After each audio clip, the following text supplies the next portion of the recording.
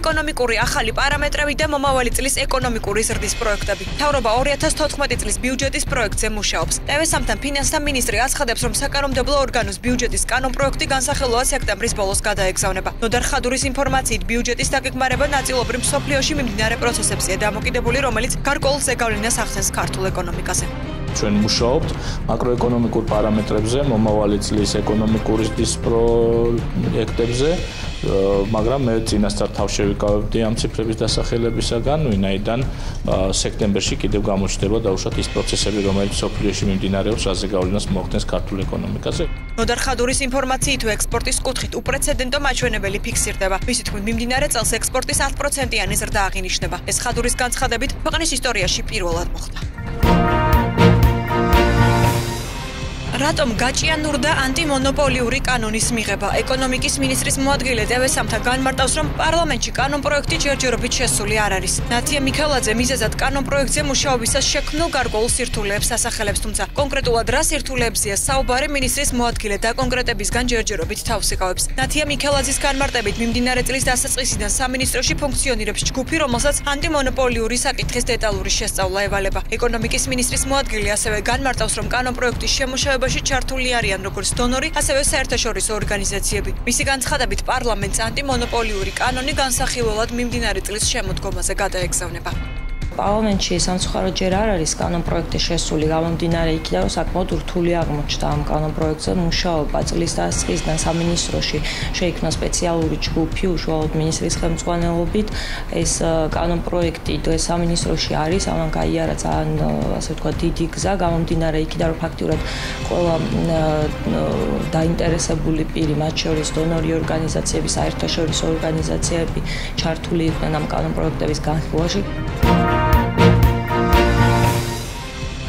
რა ვითარებაა სხვადასხვა ქვეყნებში დასაქმებულთა ანაზღაურების კუთხით და როგორი სურათია ამ ხრივ საქართველოში. ბიზნეს ინსაიდერის მონაცემებით სოფლიოში ერთ-ერთი ყველაზე დაბალი მინიმალური ხელფასი რუსეთშია, რაც საათში 97 ცენტში ადგეს. ციის სათავეშია ავსტრალია, სადაც ეს მაჩვენებელი 17 დოლარია. მეორე ადგილზეა საფრანგეთი 12.99 მიასადი დოლარი საათში. ექსპერტთა ნაწილის დათვლით კი საქართველოში დასაქმებულთა მინიმალური თვიური ხელფასი 40 ლარიდან 135 ლარამდე მერყეობს. ექსპერტი სოსო არჩვაძე TV3-თან აცხადებს, რომ საარსებო მინიმალური მინიმუმის გათვალისწინებით საქართველოში მინიმალური ანაზღაურება ძალიან დაბალია. მისი თქმით, საქართველოში არსებული მინიმალური საათობრივი ანაზღაურება საშუალო ევროპის ქვეყნების ხელფასის მხოლოდ 8%-ია. არჩვაძის განცხადებით, საშუალო ხელფასის მაჩვენებლის ზრდა არ იწვევს ქვეყნის ეკონომიკურ-სოციალური ვითარების გაუმჯობესებას, რადგან უმუშევრობის დონე კვლავ მაღალი რჩება. დაბალია საშუალო ხელფასიც, დაბალია საათობრივი ანაზღაურებაც, დაბალი ხელფასები, ეს არის კალკულაციულად იმ მედლის მეორე მხარე, რასაც ფასები ქვია. და მაგალითად ელექტროენერგიაზე ფასები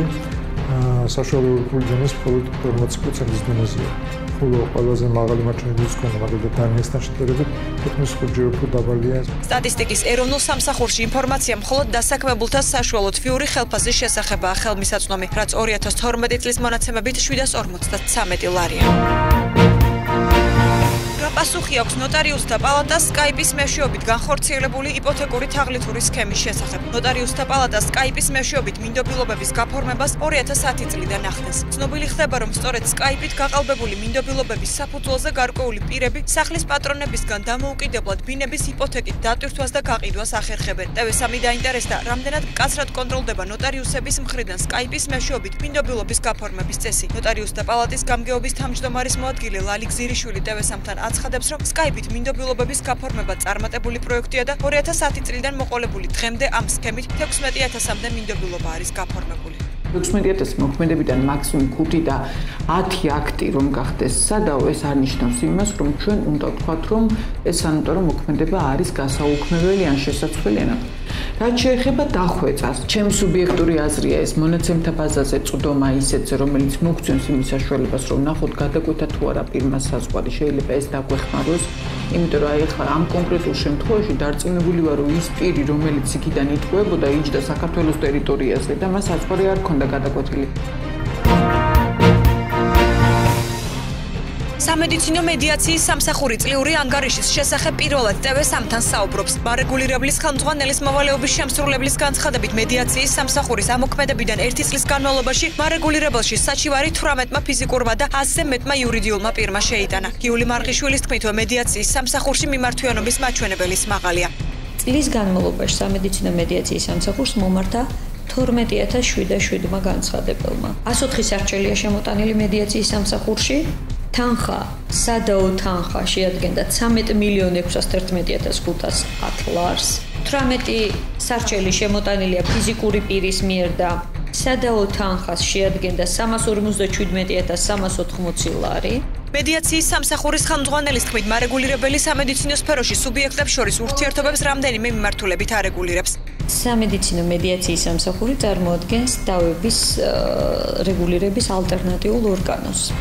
რომელიც განიხილავს სამედიცინო დაწესებულებას შორის, სამედიცინო დაწესებულებასა და სადაზღვევო კომპანიას შორის, პაციენტსა და სადაზღვევო კომპანიას შორის წარმოშობილ დავებს.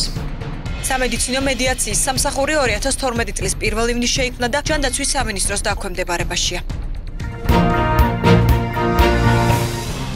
რამიზეზით მონაწილეობს პარლამენტის მიერ საოფისი ავეჯის შესაძენად გამოცხადებულ ტენდერში მხოლოდ ერთი კომპანია. პარლამენტის აპარატმა სხვადასხვა სახის საოფისი ავეჯის შესაძენად ტენდერი 29 ივლისს გამოაცხადა. სატენდერო წინადადებების მიღება კი უკვე დასრულდა. შეპეს მოდერნ ვილა ტენდერში მონაწილე ერთადერთი კომპანია. კომპანია მოდერნ ვილას გენერალური დირექტორი TV3-თან აცხადებს, რომ სხვა კომპანიებს, რომელთაც ტენდერში მონაწილეობაზე უარი განაცხადეს, სათანადო გამოცდილება არ ყოფნით. მალხას ყემალაძე აცხადებს, რომ კომპანია მოდერნ ვილას სახელმწიფო ტენდერებში მონაწილეობის დიდი გამოცდილება მონაწილეობა აქვს. ჩვენ მივიღეთ მონაწილეობა და რატომღაც ობა სხვა ფირმებმა ან ვერ გაბედეს, ან ვერ მოემზადნენ სათანადოდ იმისთვის, რომ მიიღოთ მონაწილეობა.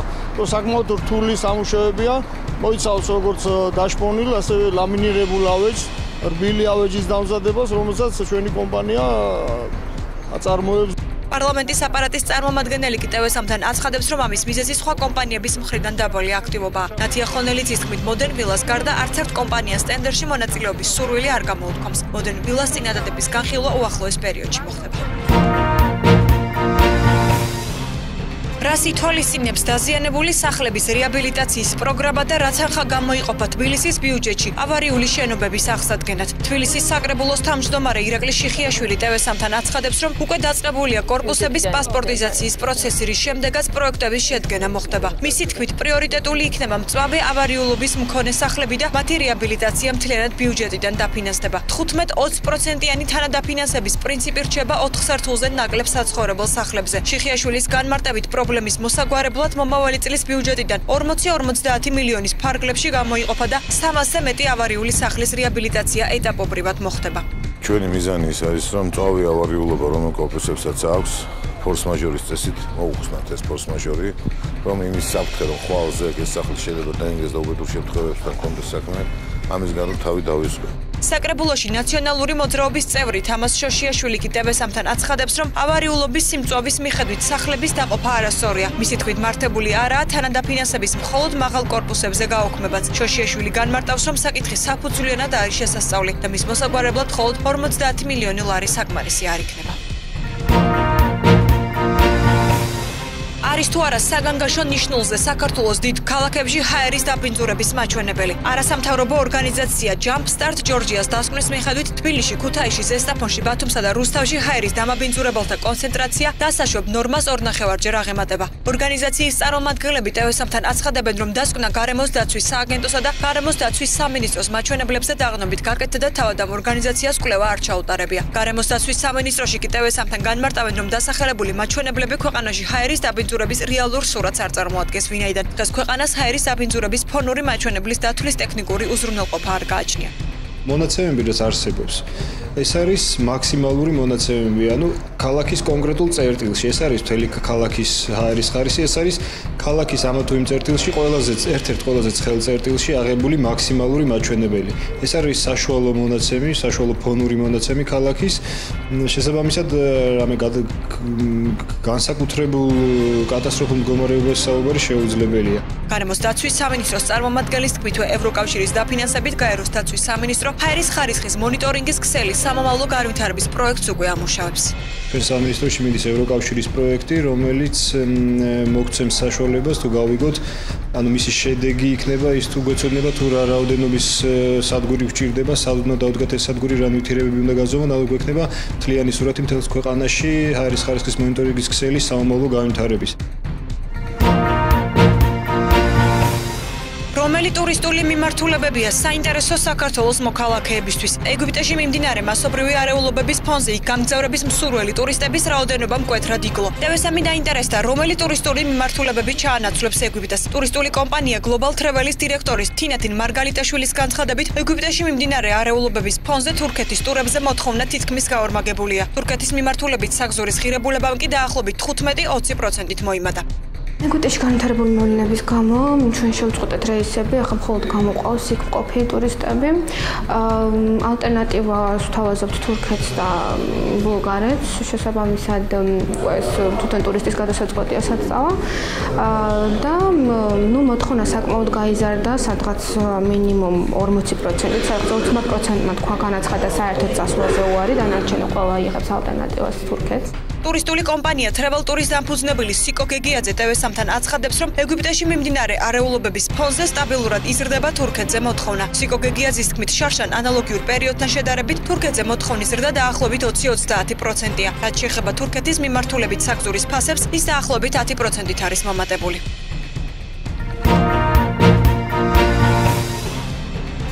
რამ გამოიწვია საქართველოსი კვერცხის იმპორტის 7.95%-ით ზრდა. საქსტატის ინფორმაციით 2013 წლის იანვარ-ივნისში საქართველოსი 13 მილიონზე მეტი ქათმის კვერცხი შემოვიდა. 2012 წლის იმავე პერიოდში კი ეს მაჩვენებელი მილიონი ნახევარი იყო. ყველაზე მეტი რაოდენობით კვერცხი თურქეთიდანაა შემოტანილი. მნიშვნელოვნადაა გაზრდილი იმპორტირებული კვერცხის საერთო ღირებულებაც. მეფრინველეობის განვითარების ასოციაციის თავმჯდომარე ზურაბ უჩუმბეგაშვილი TV3-თან აცხადებს, რომ ადგილობრივი კვერცხის მწარმოებელი კომპანიები სრულად აკმაყოფილებენ მომხმარებლის მოთხოვნებს და იმპორტის საჭიროება არ არსებობს. მისი თქმით, გაზრდილი იმპორტი საკანონმდებლო ხარვეზებს უკავშირდება, რის გამოც გარკვეული პერიოდი შემოსული პროდუქციის შემოწმება არ ხდებოდა. მისი განმარტებით უკვე დაფიქსირდა პროდუქტის კანონდარღვევით შემოტანის შემთხვევებით. უშუმბეგაშვილი აღნიშნავს, რომ იმპორტიორები დემპინგური ფასებით მოქმედებენ, რაც ადგილობრივ მწარმოებლებს პრობლემებს უქმნის. მე არ ვიცი, როგორ მუშაობს ის ორგანიზაციები და ის ორგანოები, რომელსაც ეხება ამ საკონლის ამოღება. ეს ფაქტურა კანონდარღვევით შემოსული მომხმარებლის ინტერესების საწინააღმდეგოდ მიმართულია. რატომ არ ხდება აღნიშნული პროდუქციის მაღაზიებიდან ამოღება და განადგურება? როცა კანონი ამას მოითხოვს და რატომ ხდება ყოველგვარი პრობლემების გარეშე რეალიზაცია ამ საკონს? რა თანხითაც გაიზარდა იმპორტირებული საქონლის ღირებულება, აი თანხით შემცირდა ქართული წარმოების რაოდენობა. ეფემელობა და კერძო კვერცხის წარმოება ერთადერთი დარგი იყო სოფლის მეურნეობაში, რომელიც სრულად აკმაყოფილებდა ქართულ მოთხოვნილებას და ექსპორტზეც ვიყავით ასე თუ ისე გათვლილი. კვერცხის მწარმოებელ კომპანიებში კი აცხადებენ, რომ გაზრდილმა იმპორტმა უკვე გამოიწვია ქართული წარმოების შემცირება. კუმისმა 500.000 ლარის ესხი დაიმატა და წარმოება 20%-ით შეამცირა. ანალოგიური ვითარება დიადემაში, პატარძეულსა და კოდაში. კოდაკი გაკოტრებისგან თავის დასახწევად ბიზნესის რესტრუქტურიზაციას აპირებს. ნიუ-იორკის ფედერალურმა სასამართლომ უკვე მოიწონა კომპანიის გეგმები. აღნიშნული პროექტის განხორციელება 2013 წლის სექტემბრიდან დაიწყება. კერძოდ, კომპანია შეცვლის საკუთარ სტრუქტურას და კომერციულ პროდუქტებზე მოახდენს კონცენტრირებას. ისეთებზე, როგორიცაა ბეჭდვის ციფრული ტექნოლოგიები და დრეკადი შეფუთვა სამომხმარებლო პროდუქციისთვის. გაკოტრების შესახებ განაცხადის შეტანის შემდეგ კომპანიას იმედი ჰქონდა, რომ ციფრულ გამოსახულებებთან დაკავშირებული 1100 პატენტისგან მხოლოდ 2 მილიარდ დოლარზე მეც მიიღებდა, თუმცა Apple-ისთან საპატენტო დავის გამო კომპანიამ პატენტების პორტფელის გაყიდვა მხოლოდ 525 მილიონ დოლარად შეძლო. გაკოტრების შესახებ განაცხადი კოდეკმა 2012 წლის იანვარში შეიტანა. ჰოლანდიური ლუდის მწარმოებელი კომპანია Heineken-ის შემოსავალი 10 მილიონი ევროთი ნაკლებია გასული წლის ამავე პერიოდთან შედარებით. კომპანიის ხელმძღვანელობამ საგანგებოდ გამართულ პრესკონფერენციაზე ამის მიზეზად ევროპაში ლუდზე დაბალი მოთხოვნა დაასახელა. როგორც ცნობილია, დასავლეთ ევროპის მასშტაბით ჰოლანდიური ლუდის მწარმოებელი კომპანიის სასმელზე მოთხოვნა 8%-ით ნაკლებია წინა წელთან შედარებით. რუსეთის მიერ უკრაინული შოკოლადის მწარმოებელი კომპანიის როშენის პროდუქციის აკრძალვასთან დაკავშირებით ინტერნეტში სახუმარო ვერსია გავრცელდა. ვიდეო, რომელიც რამდენიმე წლის წინ არის გადაღებული, დღეს კვლავ აქტუალური გახდა. კლიპში ვიქტორ იანუკოვიჩი კიევის სამხედრო აღლუმის დროს კამფეთს თავაზობს ჯერ დიმიტრი მედვედევს, შემდეგ კი ვლადიმერ პუტინს. ამ უკანასკნელისგან კი თავაზიან უარს იღებს შეთავაზებაზე. პორტალებზე გავრცელებულ ამ ვერსიაში საუბარია იმაზე, რომ მედვედევს შოკოლადი არ მოეწონა და მასზე ემბარგოს დასაწესებლად შესაბამის დროს ელოდებოდა. პაკისტანელ ჰაკერს მარკ ცუკენბერგის Facebook-ის გვერდის გატეხისთვის 10000 დოლარი აჩუქეს. თანხა მას საინფორმაციო უსაფრთხოების სპეციალისტმა ხალილ შრიატეხმა გადასცა. საქმე იმაშია, რომ ორი დღის წინ ჰაკერმა Facebook-ის სისუსტის დემონსტრირება მოახდინა და სოციალური ქსელის დამფუძნებლის პირადი გვერდი გატეხა. ტრადიციულად Facebook-ზე ნაკლის აღმოჩენისთვის ჰაკერებს მინიმუმ 500 დოლარით აჯილდოებენ, თუმცა პაკისტანელ სპეციალისტ მათგან ეს თანხა ამ დრომდე არ მეუღია. ხანძარს ებრძვიან მალორკაზე. ესპარენტის ამ საკურორტო ზონაში უკვე მესამე დღეა ტყე იწვის. ცეცხლი დასახლებულ პუნქტებსაც მიუახლოვდა, საიდანაც ხელისუფლების გადაწყვეტილებით ადგილობრივებისა და დამსვენებლების ევაკუაცია განხორციელდა. სტიქიას ათობით სახანძრო ბრიგადა ებრძვის. ამ დროის მონაცემებით ხანძარს მსხვერპლი არ მოხვალია. ინფორმაცია არც დაშავებულთა შესახებ ვრცელდება. ცეცხლის გაჩენის სავარაუდო მიზეზად ძლიერი სიცხე სახელდება. ეგვიპტის სასამართლომ ქვეყნის ყოფილი პრეზიდენტის ჰოსნი მუბარაქის გათავისუფლების გადაწყვეტილება მიიღო. გავრცელებული ინფორმაციით ეგვიპტის ყოფილ ლიდერს ბრალდებები მოეხსნა და საპრობილეს უკვე დატოვა. 85 წლის ჰოსნი მუბარაქი ეგვიპტის პრეზიდენტის პოსტიდან 2011 წელს 18 დღიანი დემონსტრაციების შემდეგ გადადგა, რომლის დროსაც 800-ზე მეტი ადამიანი დაიღუპა. იმავე წელს მუბარაქის სახალხო აჯანყების დროს დემონსტრანტების მკვლელობის ბრძანების ბრალდები დააპატიმრეს. 2012 წელს ეგვიპტის სასამართლომ მუბარაქს სამუდამო პატიმრობა მიუსაჯა, თუმცა მან განაჩენი უზენაეს სასამართლოში გაასაჩივრა. ჰოსნი მუბარაკი ეგვიპტეს 30 წლის განმავლობაში ედგა სათავეში.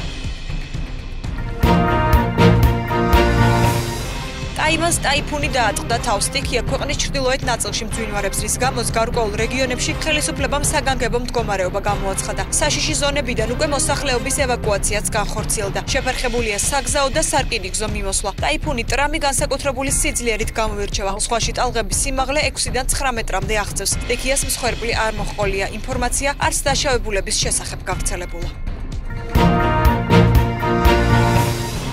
თბილისი დიდი ფეხბურთის მოლოდინშია. დღეს ქვეყნის ყველაზე ტიტულოვანი გუნდი UEFA-ს პლეი-ოფის პირველ რაუნდში ლონდონის ტოტენჰემ ჰოტსპურს უმასპინძლებს. 40 წლიანი პაუზის შემდეგ ლონდონელები თბილისს ესტუმრნენ. ორივე გუნდის სამწვრთნელო შტაბმა ტრადიციისამებრ წინა სამათშო პრესკონფერენცია გამართა. ტოტენჰემის წარმომადგენლის განცხადებით თბილისის დინამო ანგარიშ გასაწევი ძალაა და მათ თბილისში დაძაბული თამაშიელით.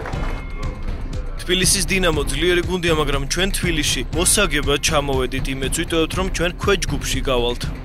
მომავალ თამაშთან დაკავშირებით კომენტარი თბილისის დინამოს მთავარმა წვრთნელმაც გააკეთა. დუშან უჰრინის თქმით, დინამოს ფეხბურთელებს საკმაოდ რთული თამაში ელოდებათ და ისინი მოედანზე მაქსიმალურად დაიხარჯებიან. მისი განცხადებით, დინამო შეეცდება, რომ მაყურებელი სტადიონიდან კმაყოფილი წავიდეს. ტოტენჰემი ძალიან ძლიერი გუნდია, მაგრამ ჩვენ ვეცდებით, რომ გამარჯვება მოვიპოვოთ და ქართველი მაყურებელი გავახაროთ. ეს გუნდები მათი არსებობის განმავლობაში სულ ორჯერ 1974 წელს შეხვდნენ ერთმანეთს. პირველი შეხვედრა ფრედ 1-1 დასრულდა. განმეორებით შეხვედრაში კი ბრიტანულმა კლუბმა ქართველი ფეხბურთელები 4-1 დაამარცხა. დინამო არენაზე თბილისის დინამოსა და ლონდონის ტოტენჰემ ჰოტსპურს შორის შეხვედრა 20 საათზე დაიწყება. ბილეთის ფასი 5-დან 15 დოლარამდეა.